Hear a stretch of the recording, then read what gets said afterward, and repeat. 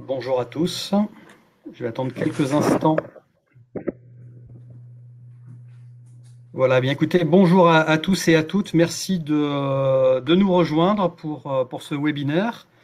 Euh, nous sommes ravis de vous accueillir cet après-midi euh, pour un nouveau webinaire qui vous est proposé par euh, l'assurance maladie risque professionnel et qui sera donc animé par la CARSAT des, Hauts-de-France. Cet après-midi, nous allons eh aborder la problématique de l'accueil des nouveaux salariés au sein de l'entreprise, des enjeux que cela représente pour l'entreprise en termes de santé et de sécurité au travail. Euh, je m'appelle Sébastien Triopon, je suis ingénieur conseil au sein de la CARSAT des Hauts-de-France et je suis euh, accompagné cet après-midi par Patrice Grimont-Pré. Bonjour Patrice. Bonjour à toutes et à tous. Qui est donc contrôleur de sécurité euh, également donc au sein de la, de la CARSAT des Hauts-de-France. Euh, ce webinaire sera disponible en, replay et j'en profite d'ailleurs pour vous signaler que euh, eh vous pouvez euh, retrouver l'ensemble des webinaires proposés par l'assurance maladie sur la, chaîne YouTube de l'assurance maladie, donc où vous trouvez effectivement un tas de, thématiques abordées par, par les différentes CARSAT. Euh, nous allons faire euh, cette présentation de, concert avec Patrice et nous laisserons bien entendu euh, un temps d'échange à l'issue de notre intervention pour répondre aux questions que vous pourriez vous poser tout au long de notre présentation. Et à cette fin, je vous invite à écrire au fur et à mesure vos questions dans le chat. Pour y accéder, il suffit de cliquer sur le petit onglet situé en haut à droite de votre écran et là de poser vos questions auxquelles donc nous répondrons avec Patrice en fin d'intervention. Vous verrez également apparaître euh, toujours au, même endroit, en haut à droite de votre écran, un certain nombre de, quiz et de sondages tout au long de notre intervention. Voilà, des petits, des petits jeux qui vous permettront de, participer euh, à certains moments à cette, euh, à cette présentation et où vous retrouverez également des liens euh, pour eh bien, accéder euh, à la fois à cette présentation, mais également à un certain nombre de, voilà, d'outils que nous évoquerons ensemble dans l'après-midi. Eh bien, nous allons tout de suite maintenant démarrer et rentrer dans le vif du sujet. Alors, cet après-midi, pour vous parler de, de, cette, de cette thématique, nous allons tout d'abord revenir très rapidement euh, sur euh, ce, qu'est la CARSAT pour ceux d'entre vous qui ne nous connaissent pas. Et puis nous aborderons eh bien, cette thématique en, démarrant sur euh, bah, une question finalement, pourquoi, pourquoi il est utile et nécessaire de, de prendre soin et d'accompagner les nouveaux salariés au sein de, de l'entreprise. Ensuite, nous aborderons le comment, voilà, comment accompagner ces nouveaux salariés. Euh, on parlera bien entendu bah, du, rôle et mission des différents acteurs présents au sein de l'entreprise pour mener à bien euh, cette mission. Et puis nous terminerons par vous présenter, euh, en vous présentant eh bien, les outils que le réseau prévention des CARSAT et de l'INRS eh met à votre disposition pour répondre à, ce, thème. Alors la CARSAT, euh, eh bien, euh, je rappelle que c'est un organisme de sécurité sociale qui héberge plusieurs branches de la sécurité sociale. Donc trois grandes missions que vous allez pouvoir retrouver dans cette, euh, caisse d'assurance retraite et de santé au travail. bien sûr, la préparation et le paiement de la retraite, c'est souvent d'ailleurs un organisme qui est connu pour cette, pour cette mission-là. Mais au-delà, effectivement, de gérer la thématique de, la retraite, eh bien, il y a euh, une branche qui euh, gère à la fois la tarification, mais aussi la prévention des risques professionnels. Donc, partie dans laquelle euh, Patrice et moi-même sommes situés.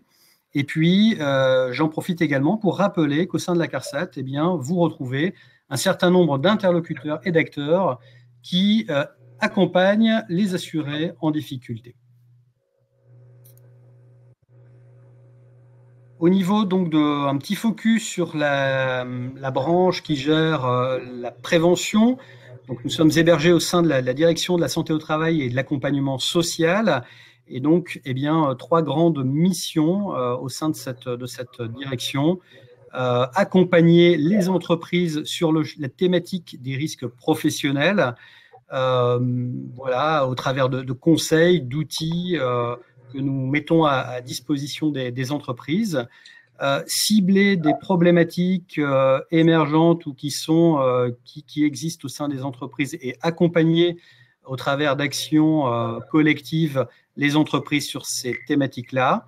Et puis enfin, fixer le taux de cotisation euh, des accidents du travail et des maladies professionnelles pour les entreprises de la région.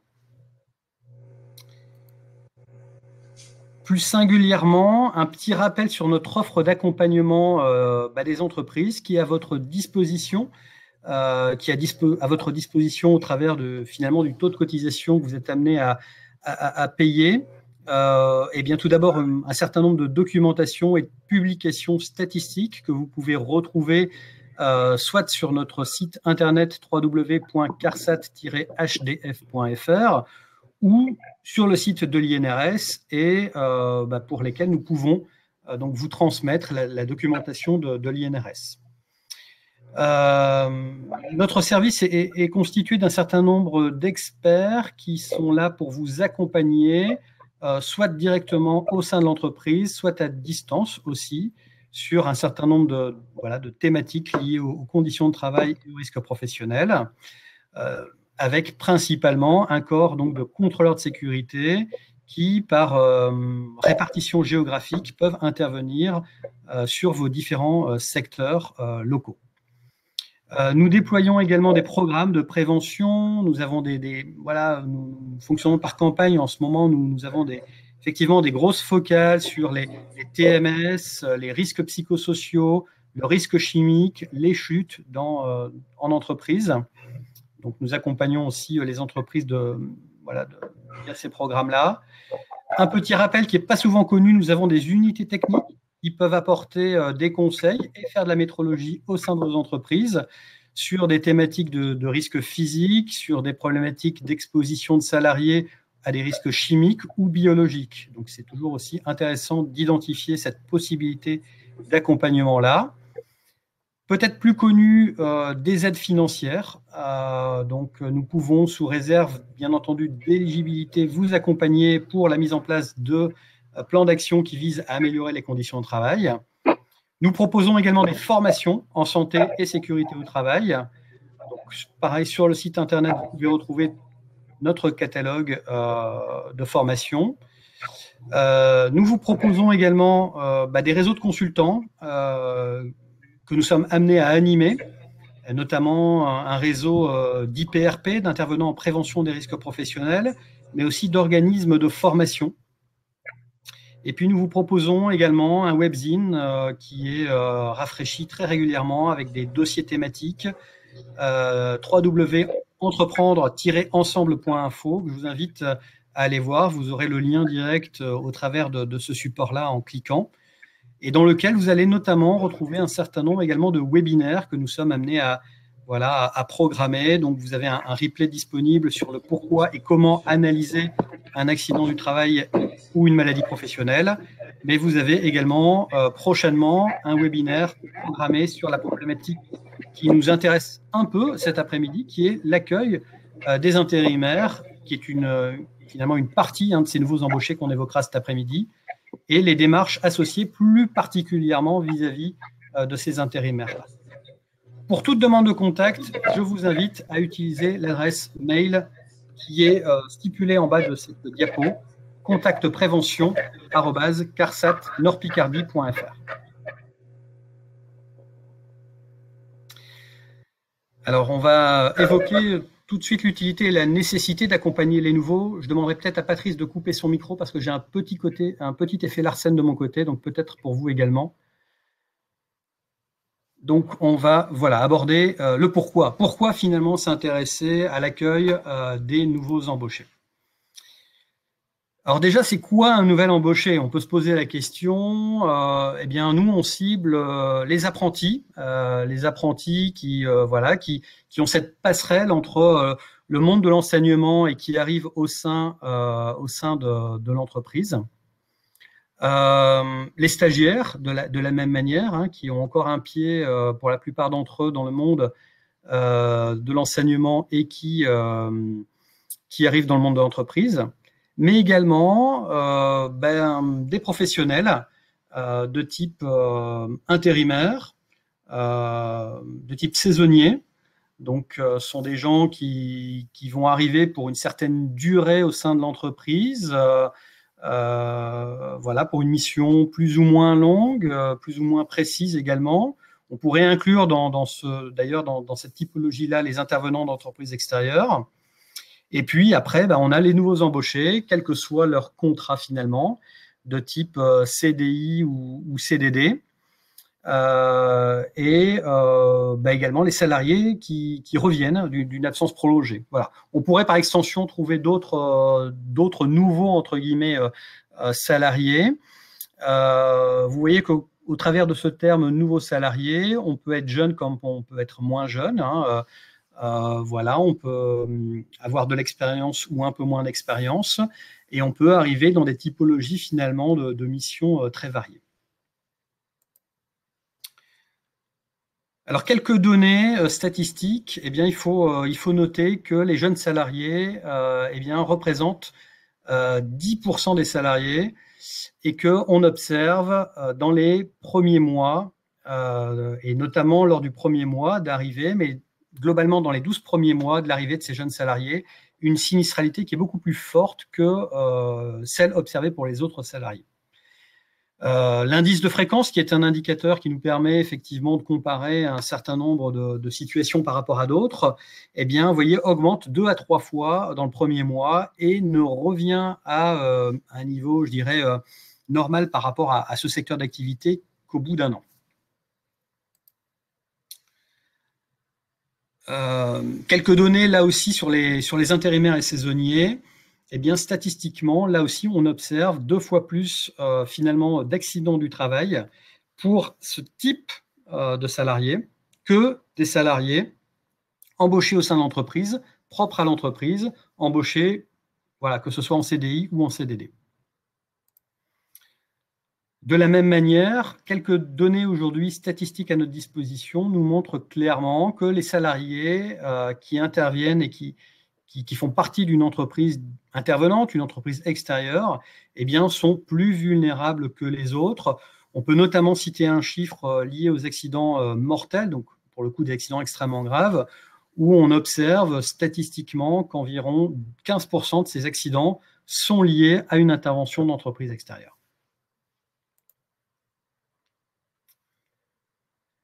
Alors, les raisons de cette sinistralité, ben, elles sont multiples, bien entendu, comme dans, hein, toute analyse, il y, a, multiplicité finalement des, causes qui conduisent à cet état de fait. Ce que l'on a voulu mettre en avant, euh, malgré tout, euh, cet après-midi avec vous, c'est tout d'abord euh, eh bien que un point commun, finalement, à, tous à toutes ces personnes, c'est finalement la découverte d'un nouvel environnement de travail. Euh, parfois, ça peut être une redécouverte. Hein. Euh, je pense notamment aux salariés qui, reviennent après euh, un, arrêt de, longue durée, ou aussi vis-à-vis des intérimaires ou des salariés d'entreprises extérieures bah, qui ont peut-être déjà effectué une première mission précédemment, mais qui reviennent avec un environnement de travail qui a peut-être évolué entre-temps. il y a peut-être eu des réorganisations du travail. Et donc, eh bien, il peut y avoir une difficulté finalement pour, euh, pour cette personne à à la fois analyser la, situation de travail, euh, à prendre en compte éventuellement ce qui a évolué si elle était déjà venue, et donc à, évaluer, à évaluer les risques qui, qui l'entourent, auxquels elle est confrontée, et à identifier, à connaître ou à savoir quoi mettre en place comme mesure de prévention face à, à, ces situations et à ces risques issus de ces situations de travail. Bien entendu, il peut y avoir d'autres raisons, mais c'est vraiment deux, focus sur lesquels on va, s'attacher euh, cet après-midi. Euh, alors, il y a une réglementation, hein, c'est sûr, euh, qui existe pour un certain nombre de, salariés qui sont, qui sont concernés, que j'ai évoqué précédemment. On a notamment, Patrice reviendra dessus, mais pour, pour les salariés intérimaires, une obligation réglementaire d'accueil et de formation renforcée au poste de travail. Bon, Patrice reviendra là-dessus. Moi, ce qui était important, le point sur lequel je voulais revenir en, ce début de, présentation, c'est qu'au-delà de cette réglementation, au vu de ces données statistiques, eh bien, vous voyez bien qu'il y a bien des enjeux euh, pour l'entreprise, des enjeux humains, bien entendu, parce que, bah, voilà, un accident, euh, c'est toujours euh, extrêmement grave en termes humains, mais il y a des enjeux aussi sociétaux, il y a des enjeux économiques, juridiques, de responsabilité. Euh, et donc, ben, c'est primordial voilà, de se soucier euh, de ces nouveaux, et notamment au travers d'une étape clé qui est euh, ben, l'accueil de, ces nouveaux, de ces nouveaux salariés. C'est un, moment fort dans le processus.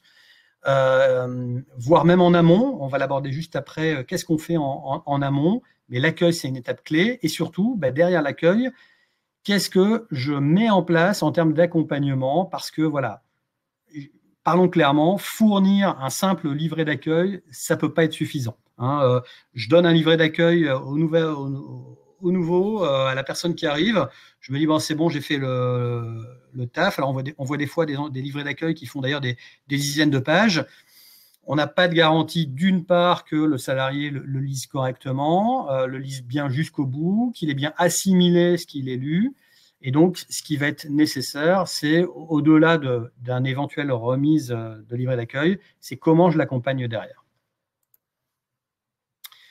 Je vais laisser la main à Patrice pour répondre à la question. Maintenant, après pourquoi, c'est Merci Sébastien. Euh, donc en effet, donc on, va expliquer un peu comment on va pouvoir accueillir et former ces nouveaux. Euh, Sébastien a expliqué tout à l'heure qu'il était primordial de, se soucier de ce fait. Alors, pour commencer, un peu en amont, hein, on va parler d'abord de ce qui avant l'arrivée de, ces nouveaux salariés. Vous savez tous que l'entreprise a une obligation euh, de réalisation de, l'évaluation des risques professionnels liés à son activité. Euh, elle a également au minimum euh, l'obligation d'informer l'ensemble des salariés à ce sujet, et notamment y compris bien sûr les, les, nouveaux salariés. Elle a également euh, une obligation de former les nouveaux salariés au poste de travail. Alors, quand on a dit tout ça, on se rend tout de suite compte qu'il il sera primordial d'avoir fait cette analyse de poste de travail euh, en amont de l'arrivée des nouveaux. Il sera important de savoir en quoi et comment on va exposer les nouveaux, et donc comment on va pouvoir réfléchir à l'accompagnement et à la formation de ces nouveaux avant même leur arrivée. Alors, on va essayer de partager cette évaluation, évidemment, avec l'ensemble des acteurs qui sont concernés, donc notamment les écoles par rapport aux, stagiaires, mais également les entreprises de travail temporaire, mais également aussi les entreprises extérieures, puisqu'on peut considérer que les nouveaux salariés euh, font aussi, euh, peuvent aussi être des, gens d'une entreprise extérieure qui viennent intervenir dans l'entreprise utilisatrice.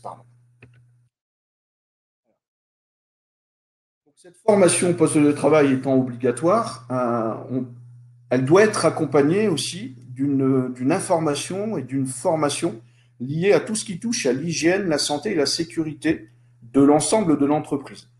L'objectif sera aussi que le nouveau puisse savoir comment il, a le droit de, de, se comporter au sein de l'entreprise, quelles sont les conditions de circulation, quelles sont les procédures à suivre en cas d'accident du travail, en cas d'incendie, euh, s'il faut évacuer le site ou, toute, toute, autre chose. Donc ça fait aussi partie de cette obligation de formation. Alors attention, en plus de ces formations qu'on va dire euh, euh, habituelles, on peut aussi être obligé d'exercer, de réaliser une formation renforcée au poste de travail. Alors il y a plusieurs raisons. Hein. la première raison peut concerner bien évidemment les machines qu'on utilise ou euh, les produits qu'on va manipuler. Euh, mais c'est aussi le cas lors de l'accueil d'un intérimaire. Donc les salariés intérimaires doivent obligatoirement suivre une formation renforcée au poste de travail. Alors pour ce faire, on a un outil hein, qu'on appelle le tutorat, euh, qui peut être intéressant quand il est bien utilisé, bien évidemment. Alors s'il est bien utilisé, c'est un outil qui s'avère efficace et qui est primordial justement sur la formation euh, des nouveaux. Alors pourquoi En gros, il va permettre de faciliter l'apprentissage progressif du métier, surtout dans le cadre d'une relation individualisée et formalisée. Le tutorat, euh, est un accompagnement formatif de, de plusieurs niveaux. Alors d'abord, c'est un accompagnement de proximité. C'est-à-dire que tout doit se faire sur place. On ne parlera pas de, tutorat à distance. Donc c'est un, un, accompagnement également en milieu professionnel, donc ce, ce sera fait sur place. On ne fait pas de tutorat à partir d'un centre de formation. Et enfin, cet accompagnement doit être réalisé entre pairs et entre collègues. Euh, il n'est pas question d'avoir un formateur et un apprenant ou d'avoir justement le nouveau qui serait euh, accompagné par son supérieur euh, hiérarchique. Alors, ce tutorat va justement faciliter la transmission de l'expérience en savoir. Il va permettre pas mal de choses. Hein. D'abord, le tutorat va aussi demander l'engagement effectif de l'apprenant. Il faut absolument que le tutoré euh, s'investisse justement dans cette formation. Il va permettre de produire des relations impliquantes entre le tuteur et l'apprenant. Mais il va aussi euh, permettre un accompagnement dans un processus de construction de compétences spécifiques.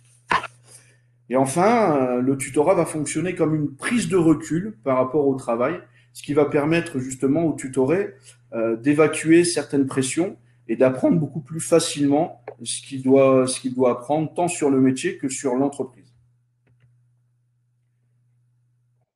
En même temps, hein, trois fonctions différentes. On va parler d'abord de, la fonction psychologique. Euh, il s'agit donc d'être accueilli par une personne pour justement favoriser la confiance du tutoré et ainsi contribuer, je dirais, à un dialogue qui sera constructif une fonction pédagogique, hein, puisque le tuteur va soutenir l'élève dans ses apprentissages en lui donnant justement les moyens pour comprendre le fonctionnement de l'entreprise, ça c'est important, et bien évidemment également le fonctionnement du métier. Et enfin, il y, a, il y a une fonction technique, puisque le tuteur va apporter un regard et va donner un feedback sur une partie très importante de l'ensemble des prestations du stagiaire. En marge de cela, le tutorat euh, va être réalisé sous trois dimensions. Alors bien évidemment la dimension professionnelle, hein, puisque les tuteurs sont, sont détenteurs de compétences, de, savoir, de savoir-faire, euh, des choses qui vont justement partager progressivement avec le, avec. Alors il y a une dimension pédagogique. Les tuteurs euh, font bénéficier les apprenants de leurs compétences en les confrontant surtout aux situations de travail réelles donc ce qui se passe réellement sur le poste de travail et dans l'entreprise. Et enfin, on a une dimension organisationnelle. Euh, le tutorat va, être considéré comme un projet d'organisation où vont notamment agir une multiplicité d'acteurs, des acteurs que je, vais, que je vais vous présenter et pour lesquels je vais vous expliquer un peu le rôle et mission de chacun. Alors, en ce qui concerne euh, le, le tuteur, justement, hein, euh, on va considérer que c'est un, un, professionnel de l'entreprise, alors professionnel par rapport, mais professionnel aussi par rapport à la fonction de tuteur.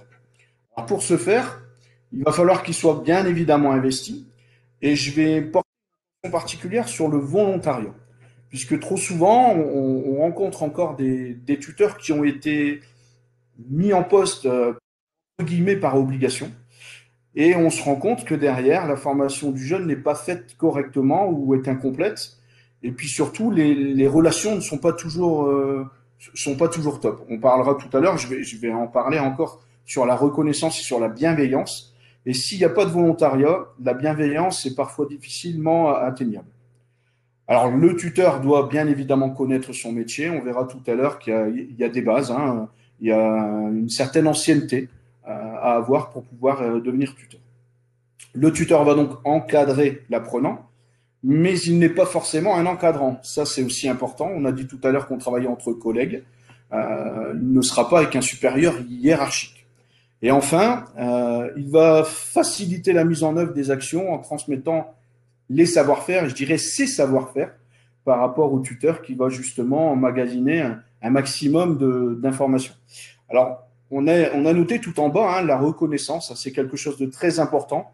Le tuteur devra euh, bien évidemment faire preuve de reconnaissance et de bienveillance, euh, mais ce ne sera pas seulement le rôle du tuteur. On verra que tout le monde euh, devra s'investir dans cette bienveillance et dans cette reconnaissance. En, matière de...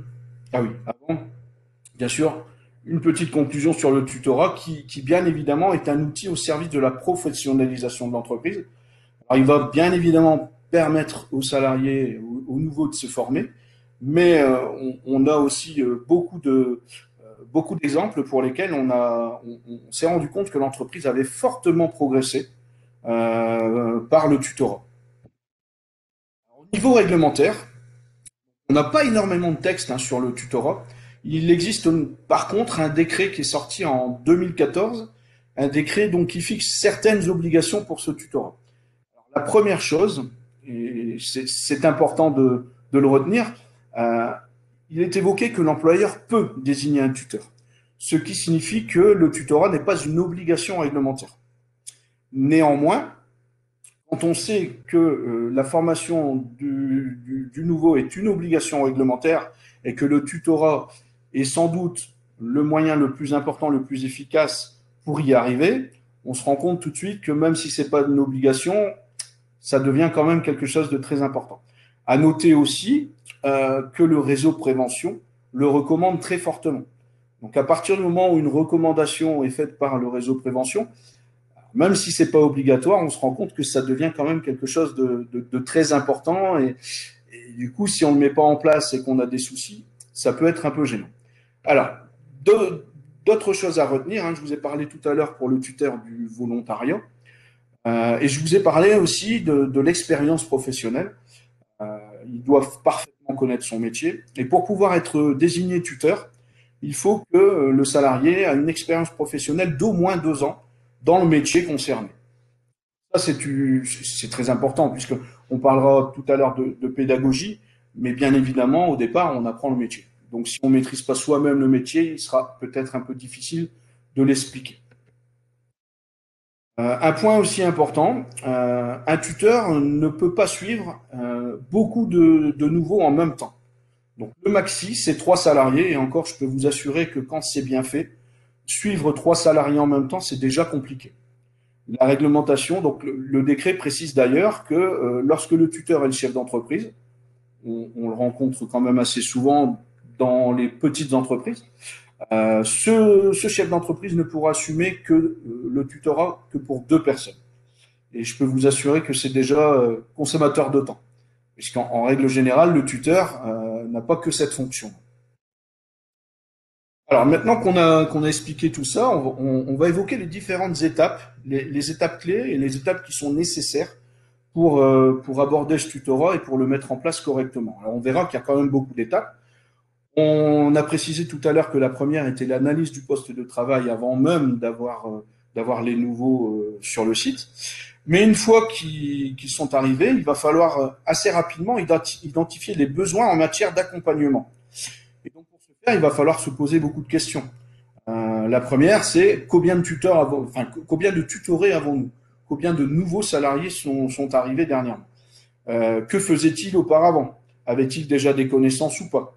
Ça va nous permettre justement de se focaliser un peu plus sur certaines méthodes ou, de, ou sur d'autres.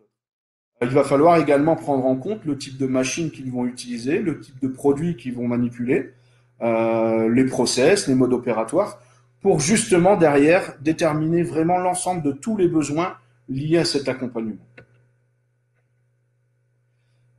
Ensuite, il va falloir aussi rapidement identifier le rôle de chaque acteur verra tout à l'heure que tout le monde a un rôle à jouer au sein de l'entreprise en ce qui concerne le tutorat. Alors, bien sûr, avec des, euh, des degrés plus ou moins différents, euh, mais j'évoquerai tout à l'heure le rôle de chacun, mais bien évidemment, en interne, on va parler de la direction, on va parler de tous les encadrants, et on va parler logiquement hein, du tuteur ou des tuteurs et du ou des, tutorés. Pardon.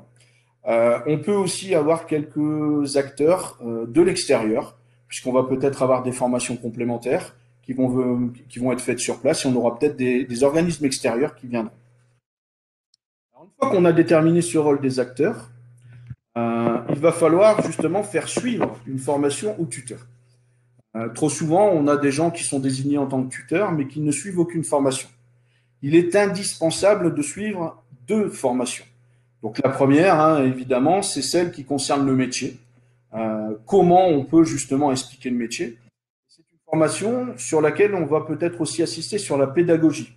sur les, comment on peut expliquer tout ça. Alors, ces formations sont en général dispensées par des organismes spécialisés et donc habilités.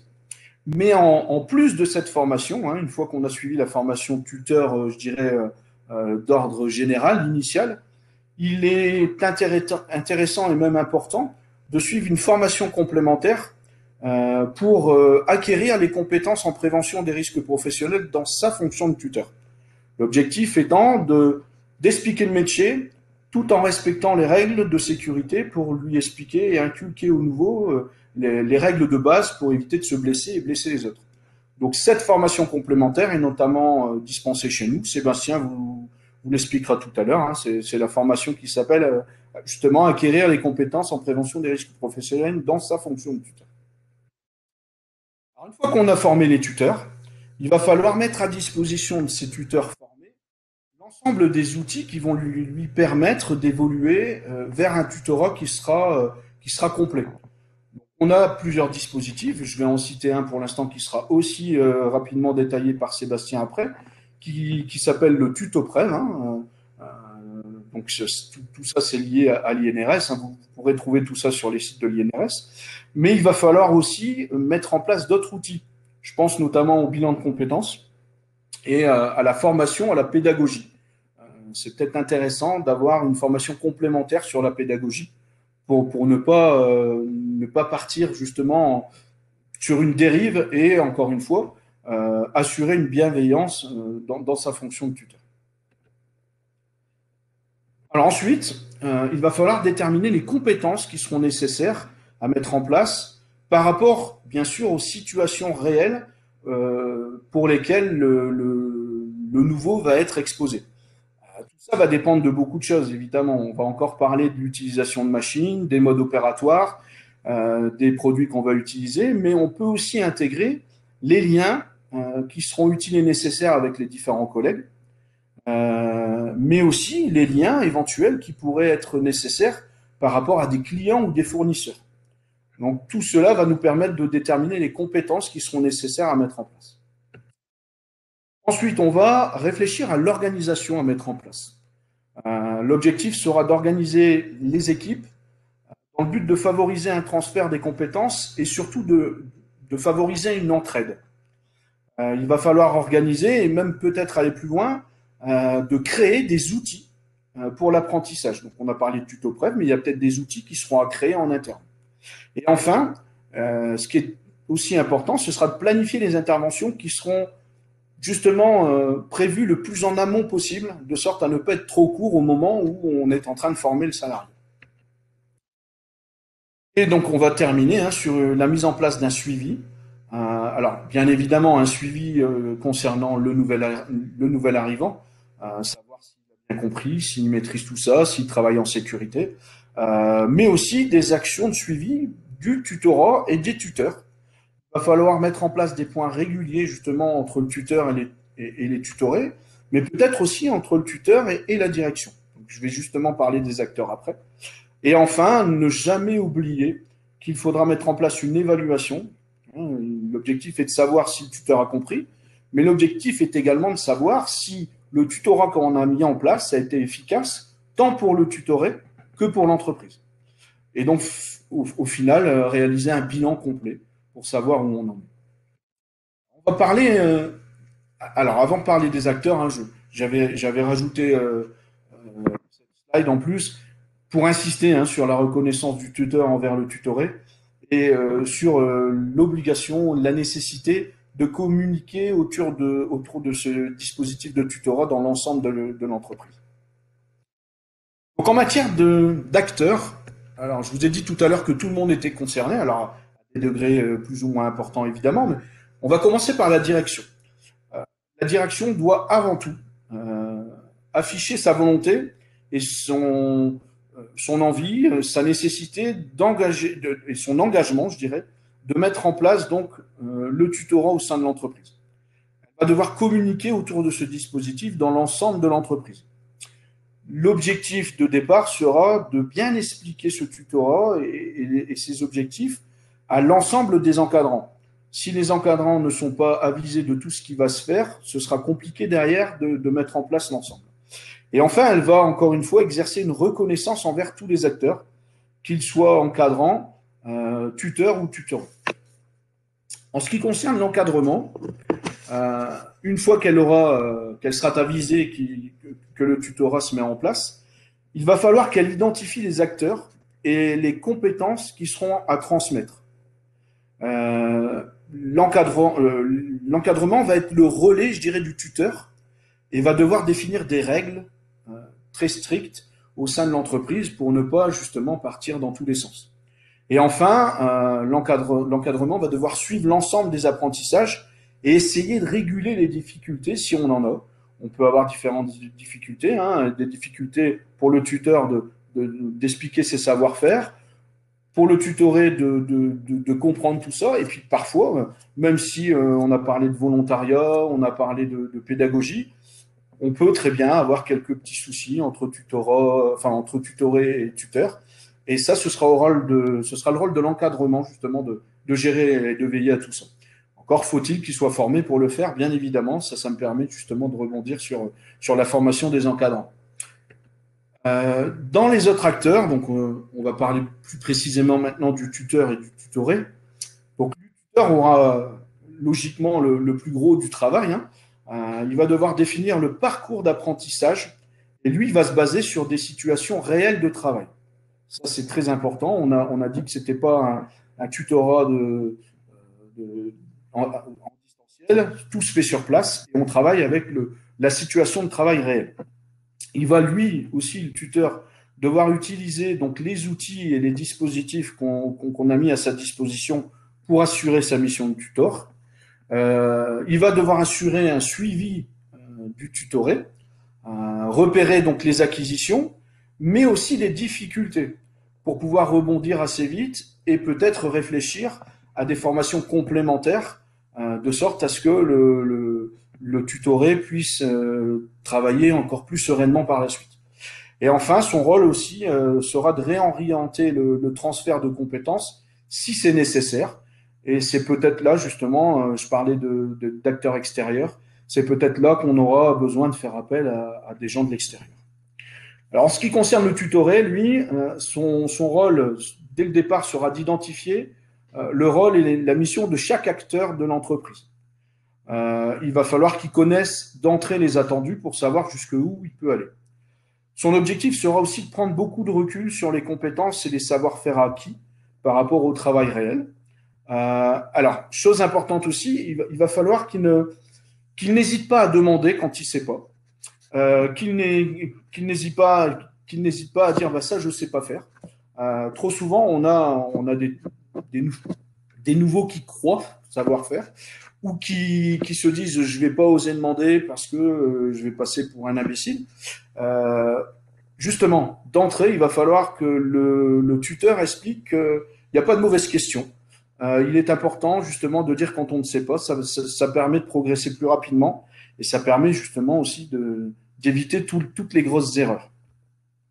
Et donc le tuteur enfin le, tutoré pardon, va devoir aussi préparer son, suivi puisqu'il va avoir des, je dirais des, discussions régulières avec le tuteur pour savoir justement où il en est. on n'oublie pas un autre acteur important au sein de l'entreprise, hein, ce sont les instances représentatives du personnel puisqu'il faudra de toute façon les, les, aviser de ce qui se fait. Et puis surtout, ils auront un droit de regard et, un avis euh, sur l'ensemble du, tutorat mis en place et notamment sur les formations qu'on va mettre en place. Voilà, donc moi j'en ai terminé avec cette partie. Je vais repasser la main à Sébastien qui va vous présenter plus précisément donc, les outils du réseau prévention qui vont d'améliorer. Voilà, bah, merci Patrice. Donc effectivement, dans, un premier temps, euh, on a présenté de manière assez euh, rapide pourquoi euh, il était important de, s'intéresser à, à, la santé, à la sécurité de ces nouveaux arrivants, de ces nouveaux embauchés au sein de l'entreprise. On on vient de terminer un focus sur le c'est vrai qu'on a fortement insisté sur l'encadrement, hein, le, tutorat faut pas oublier non plus euh, bah, l'importance de se caler euh, en amont de l'arrivée, du retour euh, ou de l'arrivée ou du retour de, ce nouvel embauché, de bien se caler avec les intervenants externes sur bah, voilà, comment on va accueillir, comment on va encadrer ce, nouvel arrivant. Et, c'est sûr que le premier jour est extrêmement important, donc l'accueil en tant que tel est extrêmement important. Moi, je vais vous présenter dans une dernière partie cet après-midi un certain nombre d'outils qui vous sont proposés, mis à votre disposition par le réseau euh, donc des CARSAT et, et d'INRS, et que vous, surtout, voilà, qui sont à votre disposition, donc ne faut, pas hésiter. Alors tout d'abord, euh, rapidement, bah, je vous invite à consulter euh, la page euh, internet de l'INRS consacrée à, cette thématique-là pour ceux qui, qui, qui, ne l'auraient jamais consulté. Donc vous aurez le lien direct pour, pour aller voir où vous retrouverez un certain nombre d'indications que nous avons évoquées cet après-midi, mais aussi de la documentation. Et puis, euh, je vais surtout maintenant faire une enfin, un focus, euh, une focale sur le, donc le dispositif TutoPrev euh, que, que, que, Patrice a évoqué précédemment, qui initialement, il est vrai, est un outil qui a quand même été conçu euh, eh bien pour les apprentis, donc à destination vraiment euh, de ce public d'apprentis. Euh, on le verra, un outil euh, qui fait la passerelle entre le monde de l'enseignement et le moment de l'arrivée en entreprise. Bon, par extension, il se trouve que nous, on voit énormément d'entreprises qui utilisent également une partie de ce dispositif euh, bah, même pour des nouveaux embauchés qui ne sont pas des apprentis. Donc c'est tout à fait possible hein, d'utiliser une partie de ce dispositif-là pour d'autres typologies de, de, nouveaux embauchés, de nouveaux embauchés. Donc à la base, effectivement, c'est un dispositif euh, qui est co-construit avec l'éducation nationale, mais aussi euh, parce que c'est un outil sectoriel où sont impliquées les organisations professionnelles, et puis bah, les services prévention des CARSAT et l'INRS.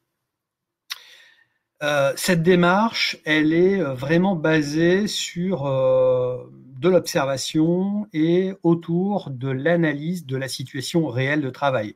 Hein, ce qui vraiment nous, importe, puisque, comme on, l'a souligné en début de présentation, ben, c'est ce qui explique souvent une des, raisons de cette sursinistralité, de cette augmentation d'accidents pour ce type de public, c'est la difficulté d'analyser la situation de travail réel, hein, euh, à ne pas confondre avec la situation euh, dite prescrite. Hein. Parfois, il peut y avoir des modes opératoires fournis aux salariés, on, donne des modes opératoires, des consignes, etc.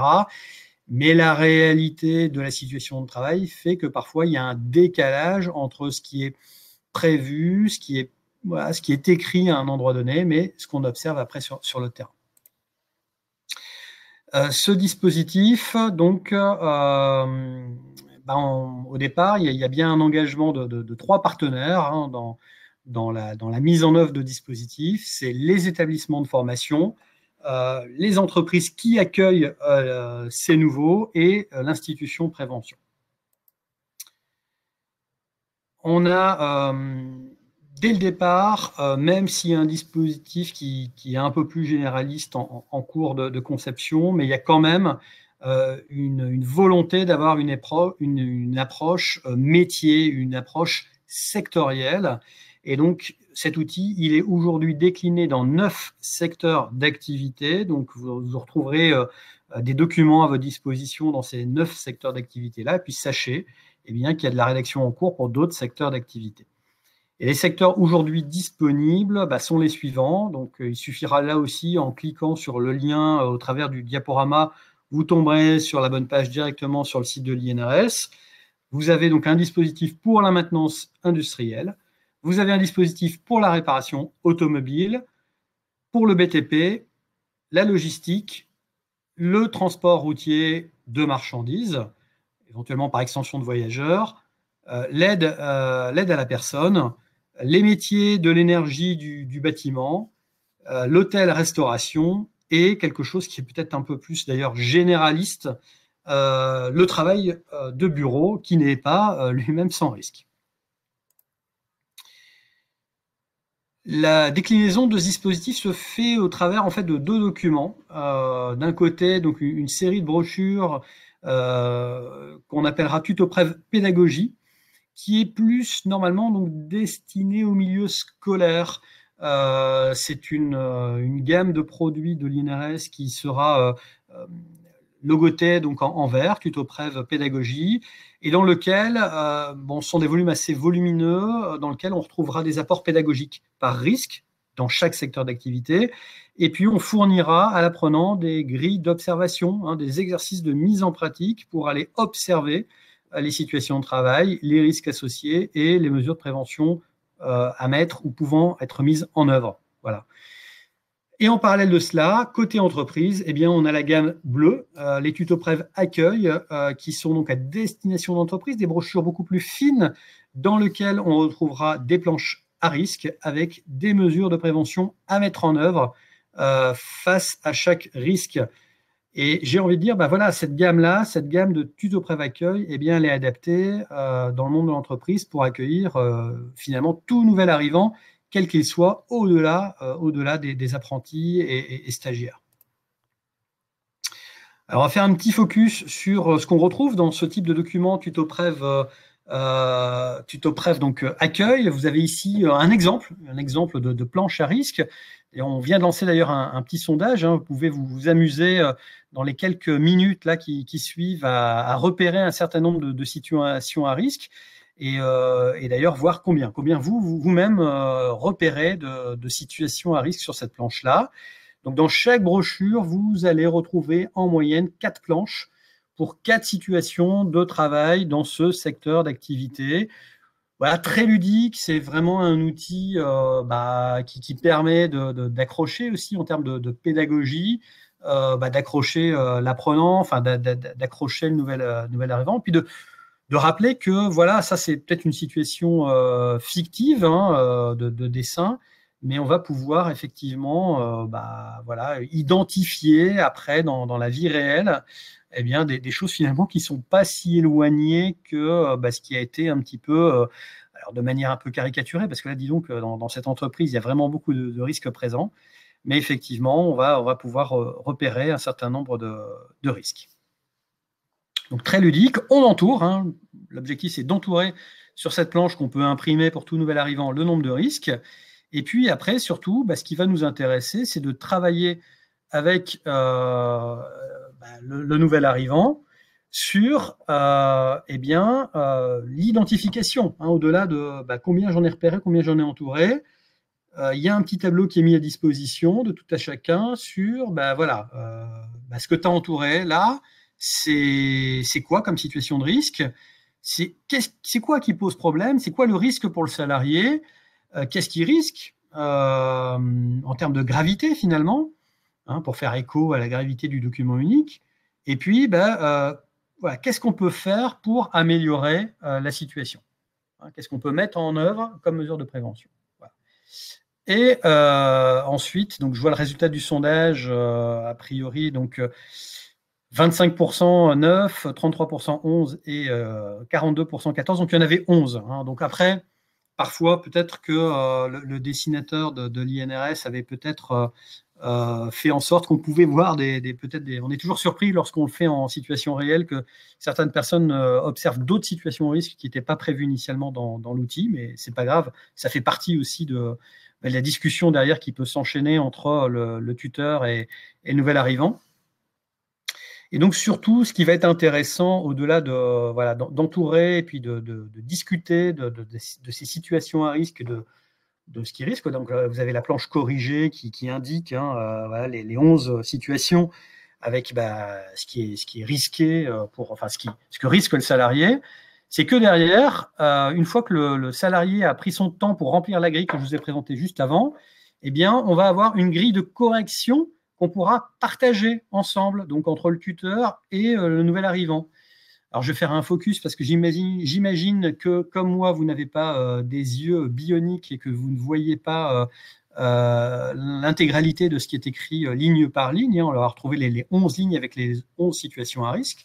Mais si je prends, par exemple, la, première ligne, où il y avait d'identifier un risque de collision entre engin et piéton, eh bien, on va voir qu'on peut mettre tout un certain nombre de mesures de prévention en place.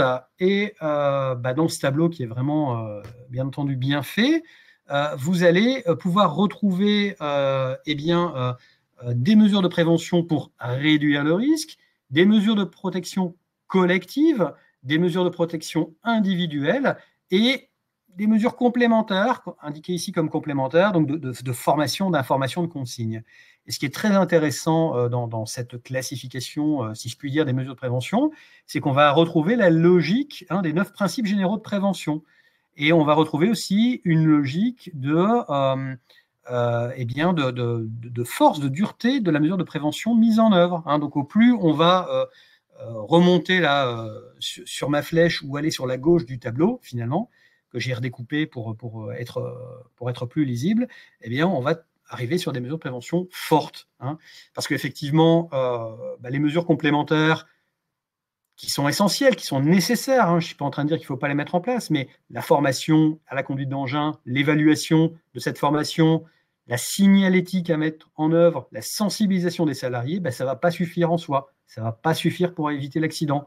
Donc derrière, on va demander aux salariés bah, aussi de porter des équipements de protection individuelle, de mettre une ceinture de sécurité pour celui qui est dans le chariot, hein, en cas de, collision ou de renversement de chariot, mais ce n'est pas suffisant. Donc on va aller au-delà, on va mettre en place des barrières, des plots autour des véhicules de chargement pour protéger à leur insu les salariés. Donc on est bien dans des mesures de, de protection collective, on va aller plus loin, on va baliser, on va signaler les zones de circulation, on va mettre pourquoi pas des, moyens pour augmenter la visibilité comme des miroirs d'angle dans les tournants.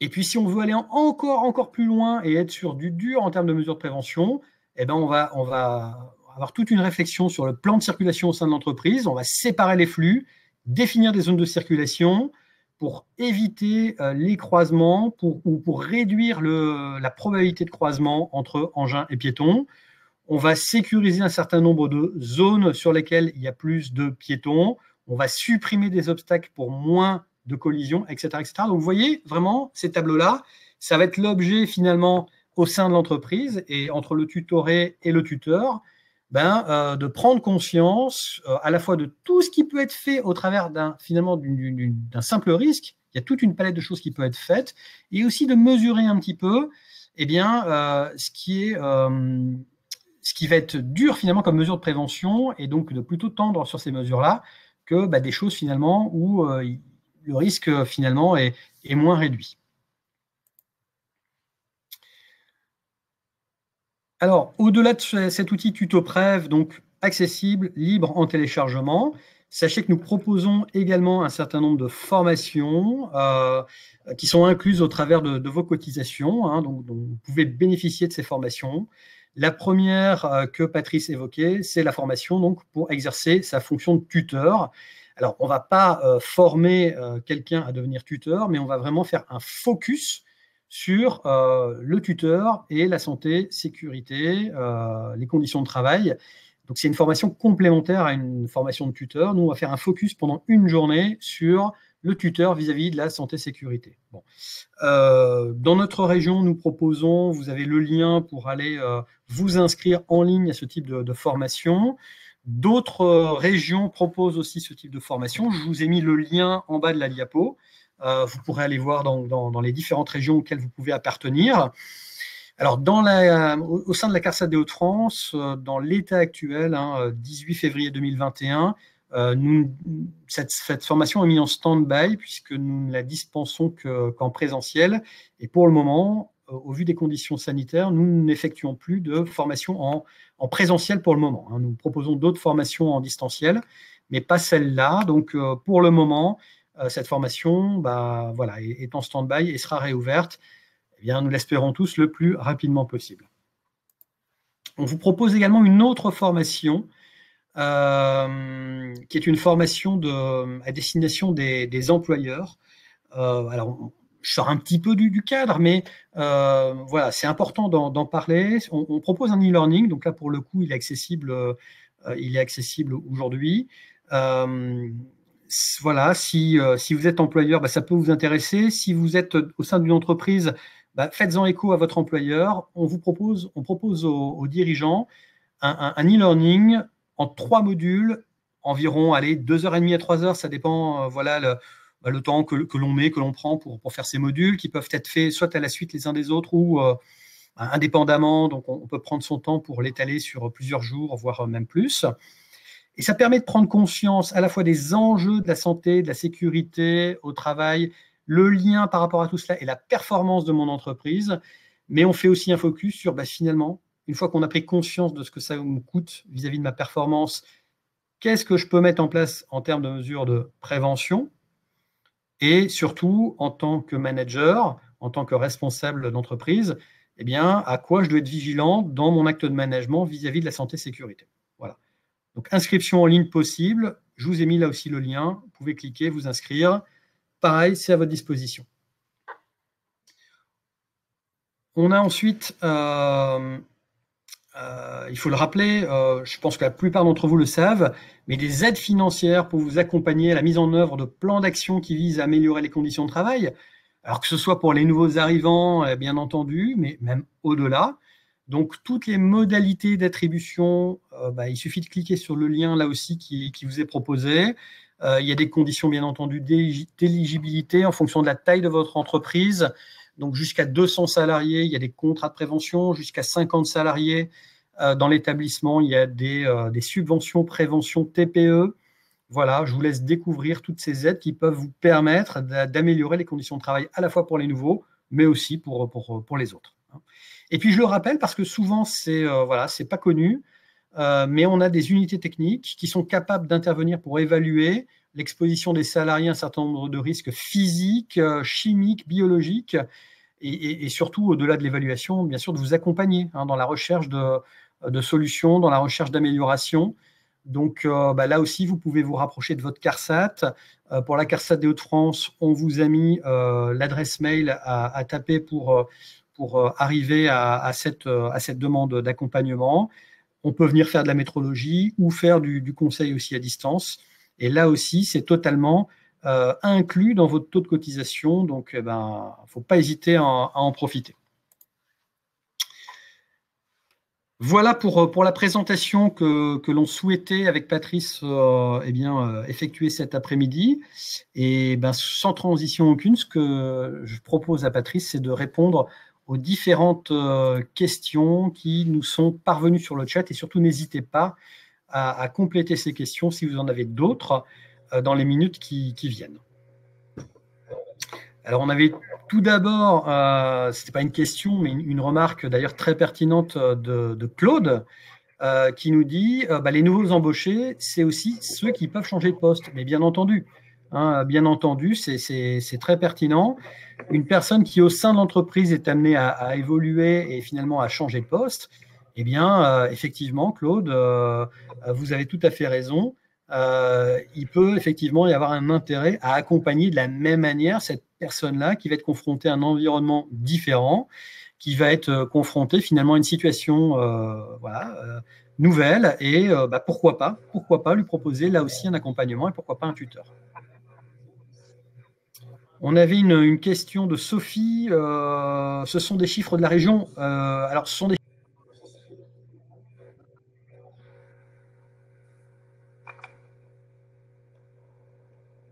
On a perdu Sébastien. Donc, bah, je, vais prendre le relais sur le, temps qu'il se reconnecte. Hein. je crois que c'est sa, connexion qui est, qui est partie. Donc, euh, euh, les, chiffres qu'on vous a exposés sont plutôt des chiffres au niveau, au niveau national. Hein. Donc, ça, c'est la première chose. Alors, euh, les du direct. De revenir, voilà, il est de retour. Donc, j'étais en train de préciser que disais que les chiffres qu'on avait exposés étaient des et qui sont assez, euh, hein, ben, euh, malheureusement, euh, constants, constants dans le temps. Hein, d'où la, problématique pour, pour, pour, ces jeunes. Alors, on a une question de, de Justine Patrice qui nous demande absence prolongée. On entend souvent une absence de plus de 21 jours. Est-ce toujours le cas?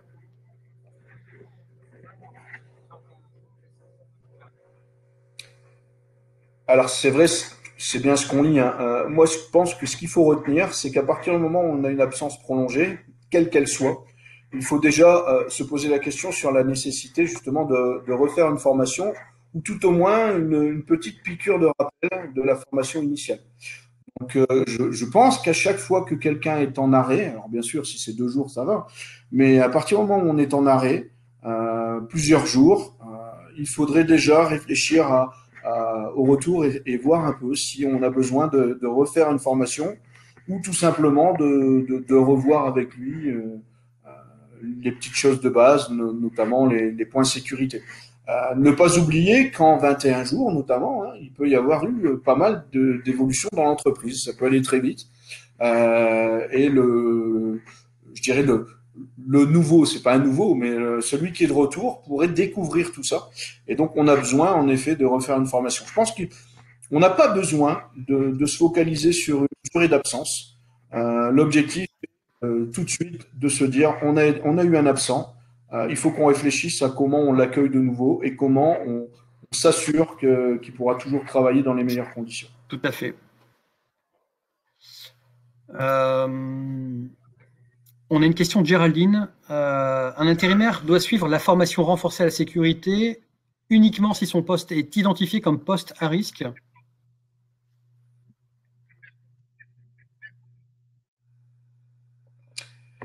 Alors non, pas uniquement. Alors évidemment, si son poste est à risque, euh, la formation renforcée euh, s'impose, quel que soit le nouveau. maintenant, la réglementation impose à l'accueil d'un intérimaire une formation renforcée euh, puisque justement c'est quelqu'un qui découvre euh, l'entreprise. Je parle surtout de l'entreprise. Ça peut être quelqu'un qui connaît déjà le métier, mais qui ne s'est pas encore familiarisé avec certains certains équipements, mais qui connaît pas du tout l'entreprise et le fonctionnement de l'entreprise. Hein, donc on parle d'une formation renforcée euh, qui pourrait peut-être être, être entre guillemets moins renforcée si c'est un intérimaire qui revient, puisqu'on a des intérimaires qui qui connaissent déjà l'entreprise, qui finissent une mission et qui reviennent derrière. Donc là, entre guillemets, ce serait une nouvelle formation euh, style, euh, je rappelle, mais la formation renforcée est une obligation pour tous les salariés. Alors, on a une question de, de Vincent. Existe-t-il des outils spécifiques au secteur du BTP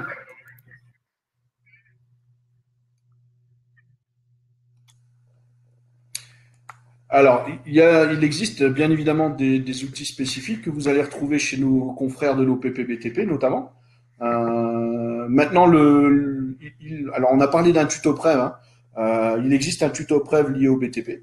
Euh, donc ça, vous permet aussi d'avancer là-dessus.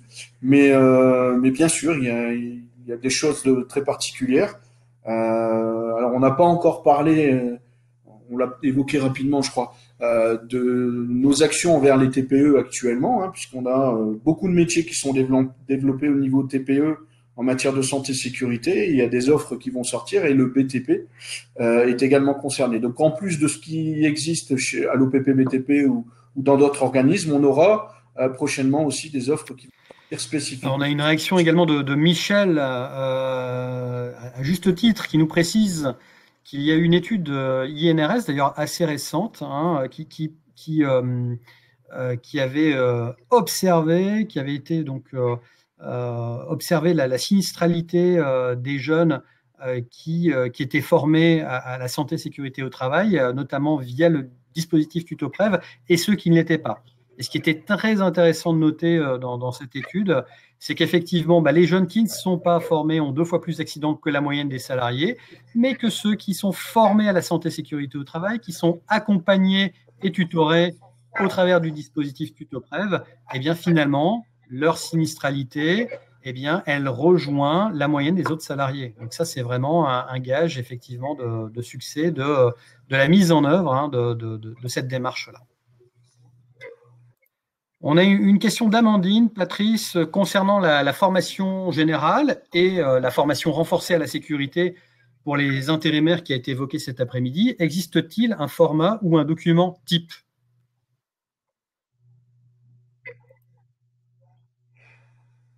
Alors, à ma connaissance, il n'y a, pas, de document type. Hein. Euh, chaque entreprise se doit euh, de créer son propre document.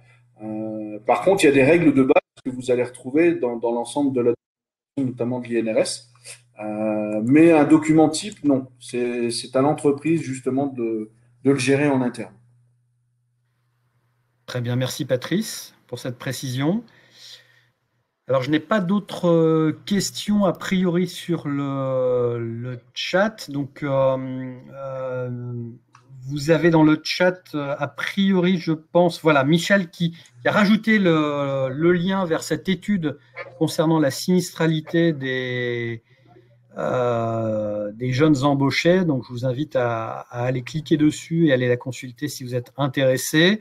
Et puis, effectivement, on reprécise qu'il y a deux tutos prêves aujourd'hui euh, dans le BTP, un beaucoup plus général, euh, qui est d'ailleurs euh, de mémoire beaucoup plus, j'ai un doute, la bâtiment que travaux publics, et l'autre qui est beaucoup plus dans le second œuvre, donc au niveau des métiers de l'énergie du, bâtiment.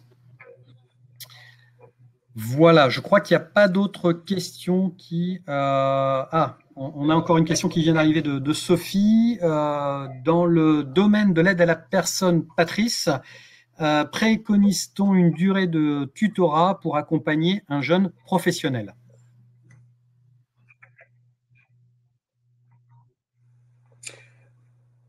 Alors, il n'y a pas de durée spécifique. Par contre, vous avez raison d'en parler. Euh, moi, j'ai accompagné quelques entreprises quelques associations euh, liées à ce type de métier. Hein. On a des actions particulières, notamment chez nous, et on se rend compte que euh, la formation est très très importante.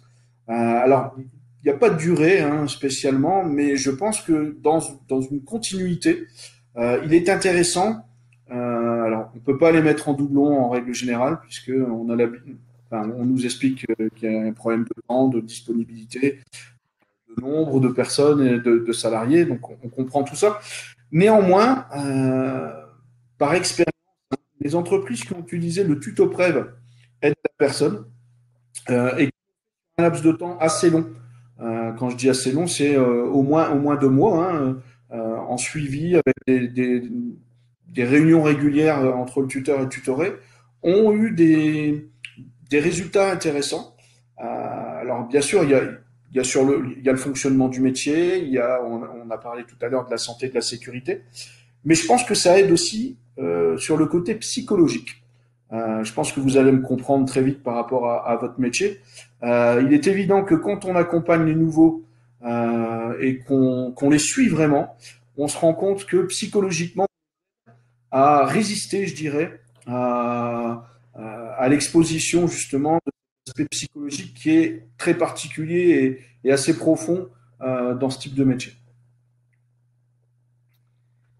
Non, alors après, en, complément, c'est vrai que euh, bon, euh, je, enfin, je m'éloigne un peu hein, du, sujet peut-être concernant les, jeunes, mais c'est vrai qu'il y a un certain nombre de dispositifs de formation pour le, secteur de l'aide à la personne, pour lequel on, préconise d'ailleurs des, formations un peu plus longues. Hein, je, je prends l'exemple du PRAP pour ceux qui connaissent, la, prévention, c'est une formation qui, vise à, prévenir les TMS, hein, donc la prévention des risques liés à l'activité physique. Donc c'est vrai que de manière généraliste, euh, le PRAP euh, pour les secteurs du, bâtiment, de l'industrie, euh, du commerce, des métiers de, c'est une formation qui dure deux jours, alors que pour, pour les métiers de la santé, dans le PRAP 2S, on, est un peu plus long. Voilà, on, préconise trois jours. Euh, il y a d'autres dimensions à observer. Et, donc, c'est vrai que euh, on demande un, peu plus de, un peu plus de temps. Alors, on, a une question de Laurent. Peut-on laisser un intérimaire travailler seul?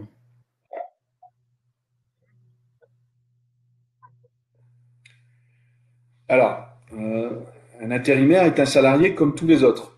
Donc, euh, il pourra bien évidemment travailler seul sur un poste de travail, mais une fois qu'il aura été formé et qu'on se sera assuré qu'il a les compétences pour travailler seul.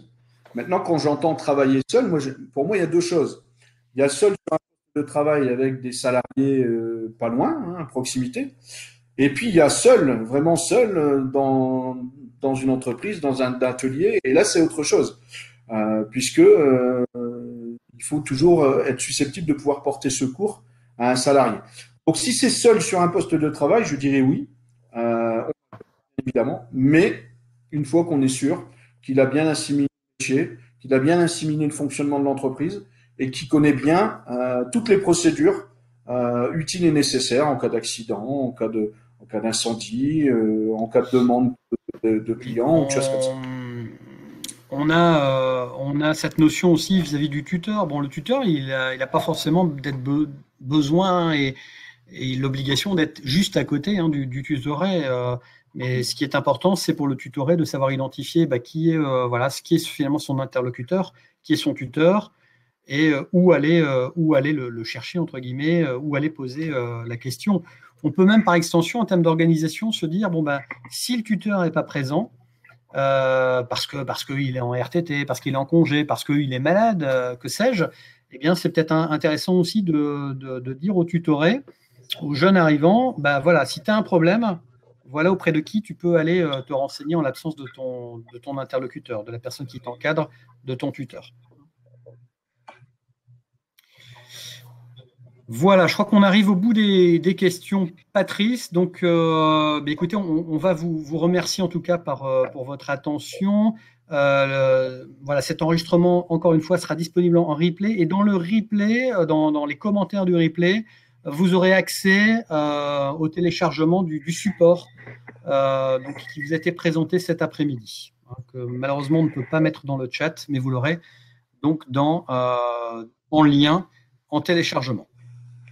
Donc, sur notre site internet, carsat- hdf.fr euh, ou également sur la chaîne YouTube de l'assurance maladie.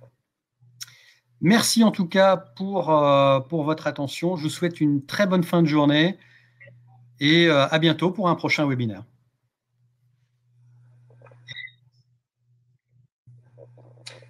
Merci à toutes et à tous. Au revoir et à bientôt, j'espère.